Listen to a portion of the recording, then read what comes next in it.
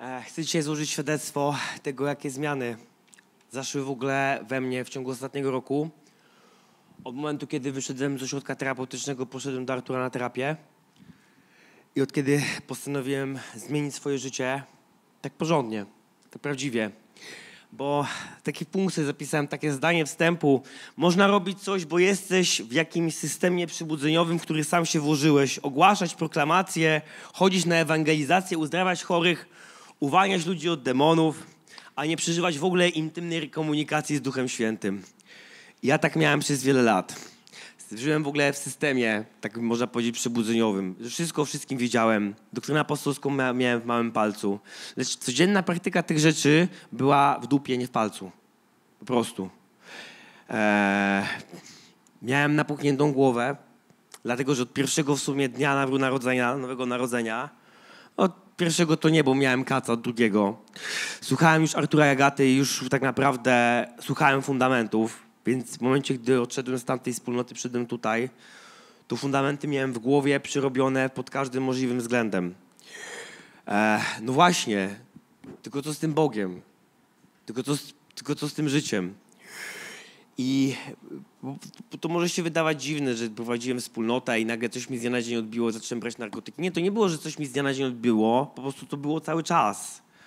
Tylko to nie było porządkowane. Wszystko, co przeżywałem wnętrzu, ta go, rozgoryczenie, gniew na w ogóle swoje życie, yy, można powiedzieć monotonia pewnego rodzaju, to wszystko był efekt tego, że nie sprzątałem w ogóle bagna w swojej psychice.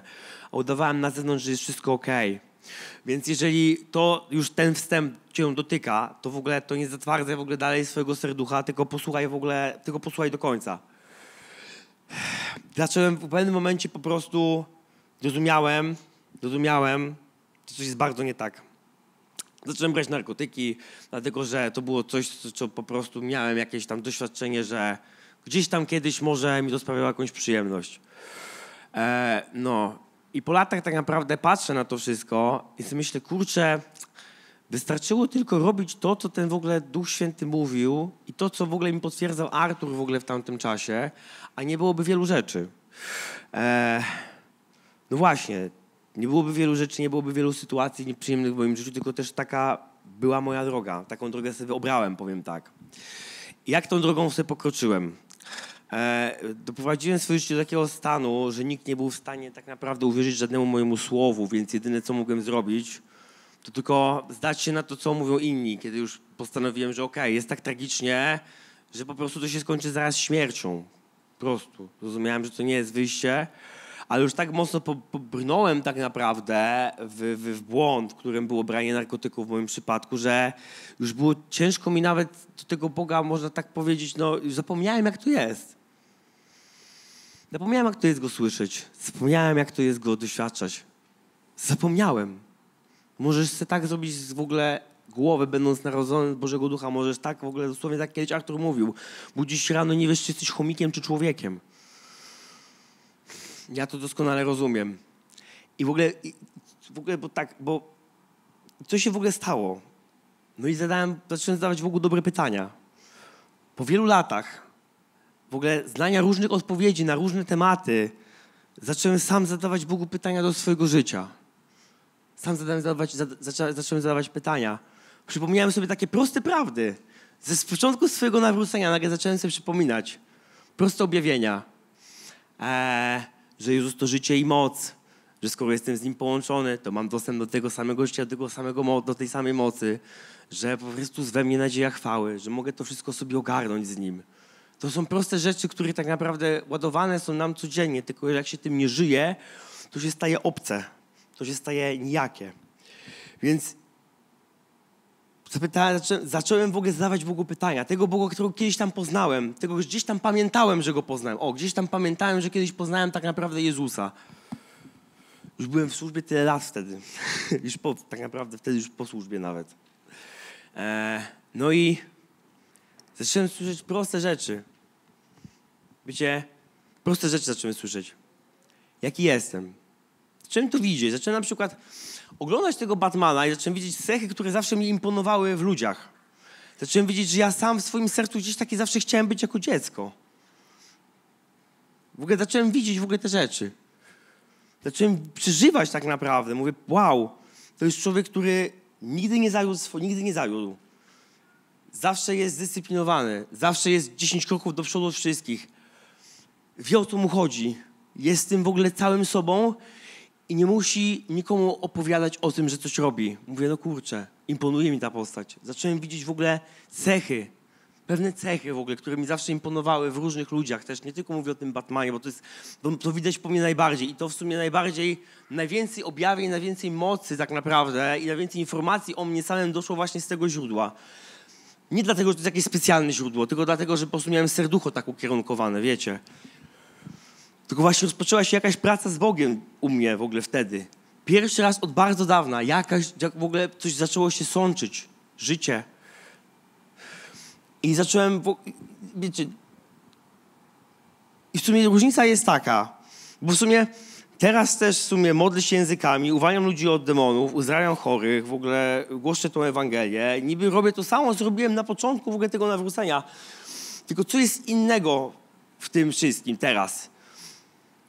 To, że to jest takie moje. Nie umiem tego za bardzo wytłumaczyć, ale to, to, że, to, że, to że, że to się stało tak naprawdę moje że prawdziwie tak naprawdę zacząłem to przeżywać.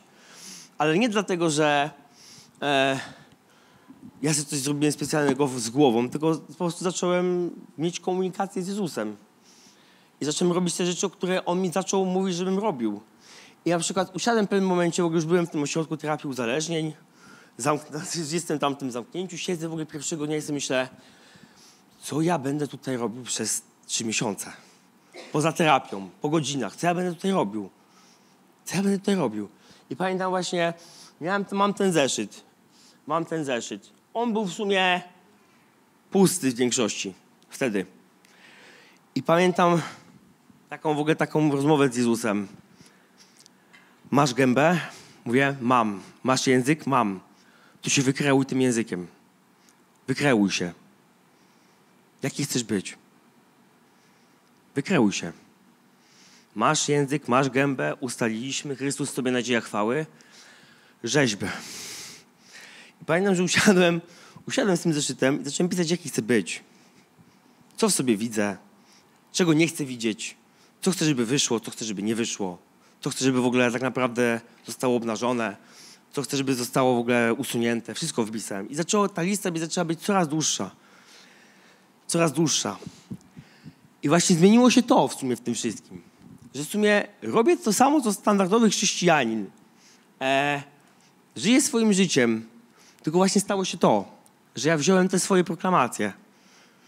Wziąłem tą prostą rzecz, że usłyszałem, jaki chcę być, taki się wykreł. I zacząłem robić to w ogóle, co do mnie powiedział Jezus. Zacząłem ogłaszać na sobie to, jak chcę się widzieć przed wiarę. I zacząłem to robić. E, zapisałem się też na terapię. Dlatego, że po prostu wiedziałem, że sam sobie nie poradzę.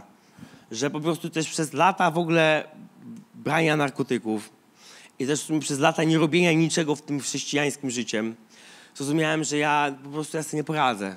Po prostu po ludzku potrzebuję kogoś, kto mi pokaże, jaki guzik wcisnąć, w jakim momencie. Bo ja najchętniej to bym wszystko, wszystkie naraz powciskał. Wszystko naraz zrobił, wszystkie naraz powciskał, wszystko naraz ogarnął, załatwił a po prostu już zacząłem wtedy rozumieć, że to też do końca tak nie działa, więc potrzebowałem kogoś, kto mnie ukierunkuje.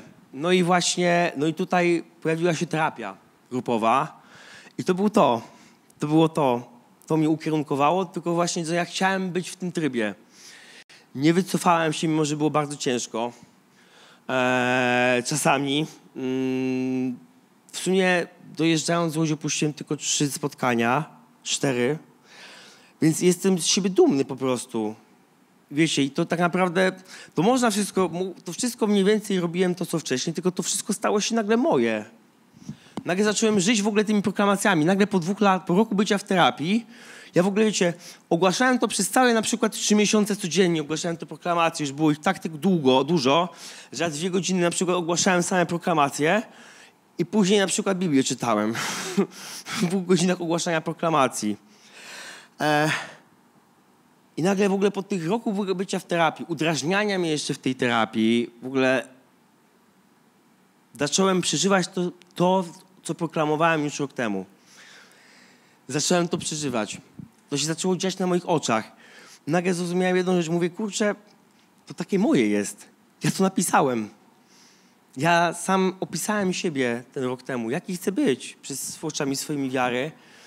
I to zrobiłem. A wystarczyło tylko, tak jak powiedziałem na samym początku, odezwać się do Jezusa, odezwać się do Ducha Świętego i po prostu robić to, co do mnie mówił i to, co mi potwierdzał Artur w ogóle. I to, co mi jest właśnie, to, co mi Artur potwierdzał w osobistej relacji z Duchem Świętym, co to dostawałem. To wystarczyło robić tylko to. I bym był tak samo szczęśliwy, jak jestem teraz, może nawet bardziej bym, bym nie musiał tyle tak naprawdę boksować się sam ze sobą i robić tyle kółek. Więc co w sumie najwięcej w ogóle zyskałem przez ten rok? Po samego siebie. Samego siebie i relację z Jezusem, która wcześniej była dla mnie tylko jakimiś wspomnieniami, jakimiś mrzonkami. Tydzień temu, e, tydzień temu, tak, był nabożeństwo na ulicy, tak, tydzień temu. Było właśnie spotkanie, tam, bo katolicy miały, mieli nas spotkanie i oni żyli wspomnieniami w ogóle z wizyty Jana Pawła II. Ja tak to słucham i sobie myślę, kurczę, ja tak też żyłem wspomnieniami swojego nowego narodzenia. Wspomnieniami żyłem w ogóle tym, ale nie miałem tego na co dzień. Nie chciałem mieć tego na co dzień. No i to może zabrzmieć tak banalne, ale to w sumie jest sedno tego wszystkiego, że przez ten rok po prostu nauczyłem się żyć z tym Bogiem. I nauczyłem się dzięki temu żyć sam ze sobą.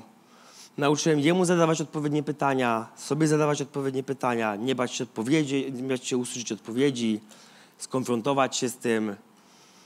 To takie proste jest. I w ogóle nagle miałem taką proklamację jedną, pamiętam. I wczoraj mi się ona przypomniała. Miałem taką proklamację, że chcę mieć w ogóle taki, chcę dojść do takiego poziomu w ogóle płynności modlitewnej, że nawet na ludzi nie będę kładł ręce, tylko będą stawać obok mnie i będą uzdrawiani. Spotykam się z pewną dziewczyną, powiem otwarcie, bo jestem osobą publiczną i to trzeba po prostu też takie rzeczy mówić. Jest to osoba ze świata. Znam ją bardzo długo. Z tym, że właśnie, co ja robię? No po prostu ja żyję swoim życiem z Jezusem. I jest obok wczoraj, obok mnie, przyszła do mnie na chwilę, tam wczoraj wpadła, odwiedzić mnie, gotuje obiad. Ona mówi, że ją kręgosłup boli. Ja mówię, stań tutaj. Ona stoi. Sobie tylko tak podniosłem rękę, bo miałem brudną, pamiętam, od jedzenia. Mówię, szaka, raba, son, to kuroba, terele, terela, tarala, toja. Teraz jest kręgosłup prosty, teraz odchodzi wszelki ból, teraz w ogóle przychodzi lekkość, teraz przychodzi rzeźkość. Powiedziałem tylko dosłownie cztery słowa, ona tak stoi obok mnie i tak, ty, nie bolą kolana, kręgosłup prosty. Jak to zrobiłeś? Nawet na nią ręce nie kładłem, po prostu. Pomodliłem się językami, bo ustanawiałem od roku, że jestem jak radiacja w ogóle mocy. Że mnie do tego, właśnie do tego punktu mnie Bóg doprowadzi. Nie było łatwo, było boleśnie, ale zauważyłem właśnie, że kurczę działa. Modliłem się o to, pisałem to w ogóle własną ręką.